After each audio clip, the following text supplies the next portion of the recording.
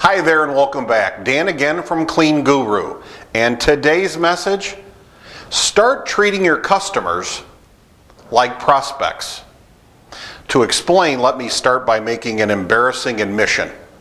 Sometimes over the years, when I've gone home at the end of a long day, maybe at the end of the week, and I'm kind of burned out from a tough day, I sometimes grumble and grouse at home.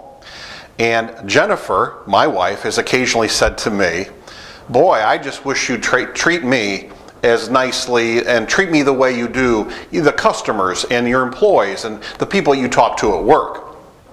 Well, that's a little bit harsh and it makes you feel bad but maybe you or someone you know has experienced the same too or same thing too where someone has said i just wish you treat me the same way I, I, hear you talk to everybody at work real polite and interested in your listening well that's what this is all about right the parallel between the point start treating your customers like prospects what about that well, that situation can be very much the same thing. You know, sometimes when we land a job and now they're a customer, we can sometimes what? Take them for granted.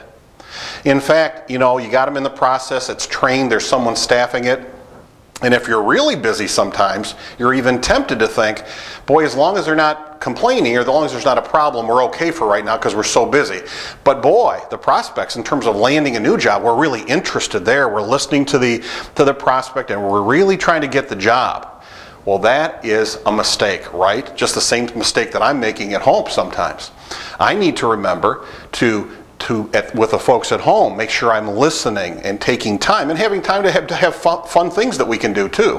What's the parallel? Take some time with your customers to start treating them like prospects. So for your customers, make sure you're listening to them. Make sure that you're talking with them. Make sure you even have some times for fun things. For example, during the holidays, taking out a little basket or things like that can give you moments that show that you still appreciate your customers. Once we get them, let's not move them off into the system. Let's make sure that we treat them at least as well, right, as the prospects that we're trying to get. It's uh, kind of weird when you first hear start treating your customers like prospects. But think about this, think about that this week and see if it doesn't hit you the same way it hit me. Until next time, remember that you can do this. You really can.